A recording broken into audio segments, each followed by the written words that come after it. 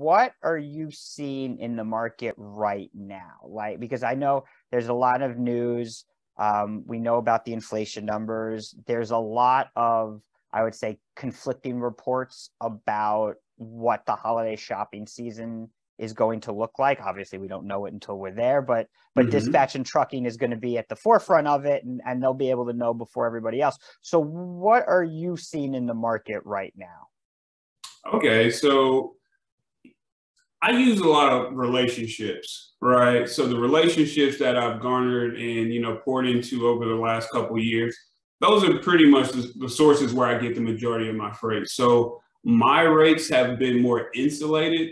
You know, they haven't changed too mm-hmm. much, um, but I do have the opportunity to host a weekly, uh, you know, taping podcast with FreightWaves Sonar team. And, you know, each time we're talking about the market and the places where you should position your trucks to take advantage of opportunities. And a consistent question I ask is, or a lane that I look at is Atlanta to Philadelphia on the dry van.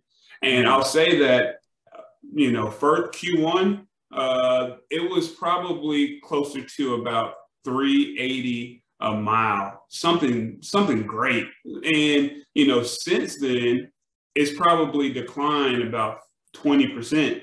So you know, it's so in Q2 and going into the towards the end of Q3, uh, it's definitely declined uh, a good amount. But what do I see as far as uh, you know the holiday season? I think that we're going to experience some some uh, higher rates and I'm excited about those higher rates for the owner operators and small fleet owners who have been impacted by the uh, the higher fuel costs. Mm-hmm. Um, you know, earlier in the year, that was the biggest that was the biggest thing that I noticed with my carriers was just the fact that although the rates that I was even getting through my relationships were astronomically higher than what was advertised on the excuse me on the load boards, uh, fuel was still you know, cutting in a huge percentage of their margin. So, uh, you know, it, it just, we're in a spot where we're going to say, well, the rates might not be terrible, but just the fact that costs are up, um, you know, are they going to re- really be able to see the margin that they need to see?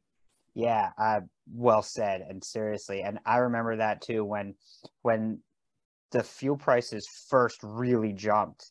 I mean, we were hearing stories about uh, these owner operators that had to take out working capital loans just to buy fuel. I mean, you talk about the the mark of a disaster right there. So it's good that things are starting to to look a little bit better, look a little bit more stable.